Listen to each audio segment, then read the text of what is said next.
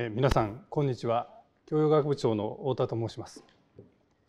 本日はあの梅雨の雨の足元の悪い中総長理事はじめ皆様方 OBOG の方駒場を応援されしてくださっている方々お越しいただきまして本当にあの誠にありがとうございます。えー、本日は、えー、7月7日で七夕にあたります。でそれをちょっとあの記念しまして入り口に笹と短冊を用意しております。で今回のシンポジウムの感想でありますとか駒場のエールなどございましたら皆様のお声を短冊に記していただきまして笹に掲げていただければと考えております。さて70周年のシンポジウムなぜこのような梅雨の日曜日皆さん貴重な日曜日にこんな設定したのでしょうかと。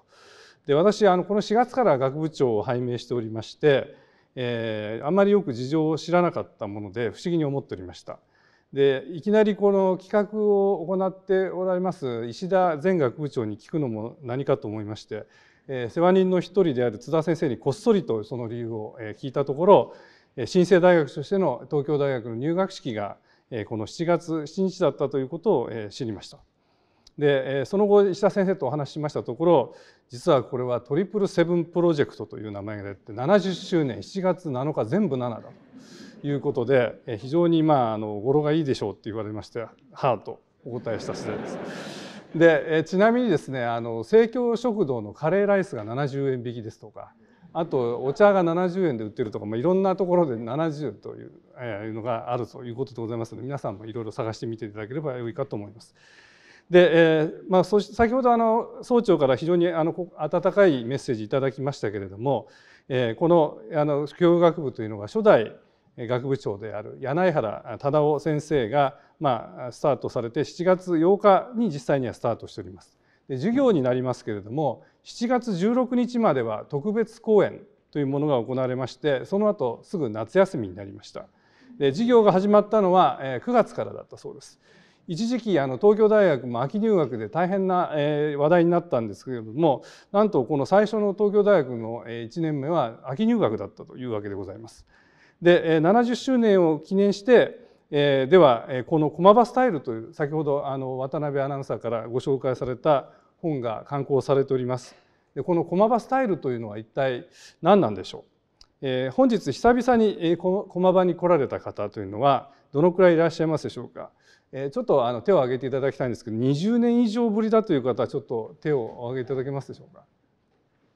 ああんまりもっと頻繁に来られてるわけですねそうすると皆さん。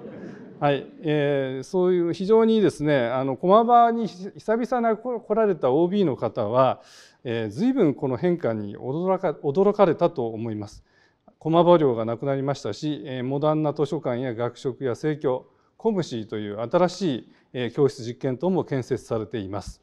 一方この900番教室や1号館など旧制一校から継承する歴史的な建造物も保存されていると。駒場スタイルはこのように変化する部分と、変化しない部分がうまく組み合わさって成り立っております。でちなみにちょっと皆さんあの後ろをご覧いただきたいんですけれども巨大な絵が2枚、掲げられております。向かって右側が、菅原道真公でこちらが坂上田村麻呂ということでなんでこんなものが飾ってあるかといいますとこれは旧制第一高等学校の講堂に昔からこの絵が飾ってあったと。でこれは文武両道というものをあの一行が、えー、重んじていたためにこの2つの、えーまあ、偉人というものをシンボルとして掲げられていたということで、まあ、今日はちょっと普段はこれはないんですけれどもこれレプリカの絵を飾って、えー、皆さんちょっとお見せしたという次第でございます。えーまあ、そのようにまあ昔のことと新しいことが混在しているというのが駒場のスタイルであると。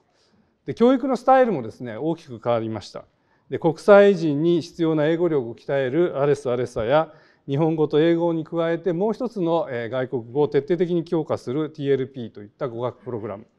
さらには英語だけで学習を行う PEAK というコースも運営されています。